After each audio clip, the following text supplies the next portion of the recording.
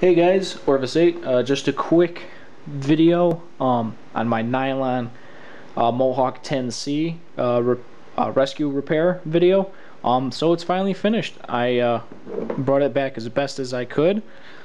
I'm just showing it off on video right now. Uh, if you guys want to see reference, go in the description below. I'll have a link to a forum post that I made. I have lots of before and after pictures of all the parts and everything. Uh, this is just the video portion of it. Um, at the end of this video, I'll have a quick little shooting video.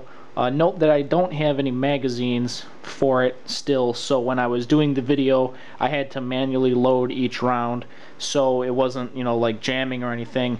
Uh, I just I don't have magazines for it yet because I didn't want to buy them until I knew that the that the actual rifle itself worked, and it does. So that's why I'm making this video. Uh, so anyway, so let's just go from left to right. This is the right side. Um, this was the least damaged side of the rifle. So as we can see, the stock's still kind of okay. Then we get up to uh, the receiver.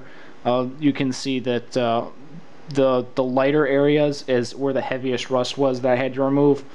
Uh, the action is super smooth now. Uh, I now have a trigger, obviously. On the bottom we have where the magazine goes, the magazine release. Uh, the stock on the front was way too badly damaged to save, plus when you got the barrel out, the whole stock kind of went like this. It started, uh, you know, leaning to the left, so I just, I, because the only thing that holds the barrel on is this one screw on the bottom, which I have a little piece of cloth and I'll get it on in a minute. Um, I just decided to chop it off because I hold on right about here anyway so it didn't really matter for this whole front part anyway. So as you can, uh, we now have here obviously the camera's not going to pick it up but if you check the the pictures in the uh, description uh, on the form for the link in the description uh, it says Remington 22 only here. I didn't even know that was there prior because of the rust. Um, but that's there so that's kind of cool. Um, then we have the barrel. Up here is very heavily rusted. You can see I removed it. We have the iron sight. And let's flip it over. So we'll start with the buttstock again. Um, I just I put some hot glue in here to make it kind of flatter on both sides because it was bubbling uh, and all that other stuff. So I just put some hot glue on it and I cut it down. Um, eventually I'm probably just gonna paint the stock itself um, a different color just to get rid of all this but uh, for now I'll just leave it. We have this side of the receiver. Um, this side was pretty bad. Yeah, as you can see most of it's pretty grayed out except for little little patches but uh, still. Uh, then we have this half I'll put a little hot glue on this just so it's easier to uh, hold on to because it was all bubbly and scratchy. So I put some hot glue on it and then took a razor and kind of you know shaved it down so it's in uh, it's flat against the rest of the stock. So that worked out pretty well. We have the iron sights up here. The uh, the screw to adjust the iron sights now works. Before it was locked in with rust. So now that works. Then we have this side of the barrel and that's about it. The top looks pretty good. The action.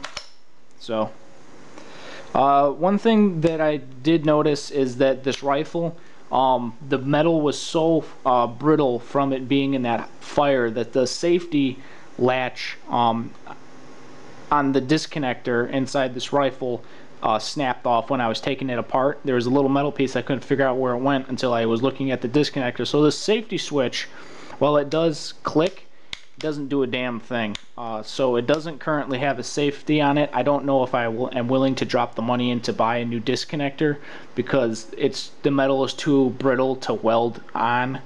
Um, so for right now, I'm just going to leave it. Uh, you know, just have to practice, you know, proper safety you know, don't aim the rifle at anyone at a range, obviously, and, you know, always treat it now like it's hot.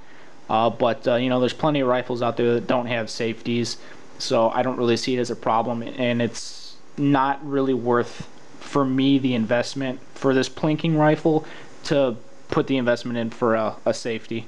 But, uh, that's it, guys. So, thanks for watching, and uh, remember to rate, thumbs up, and subscribe.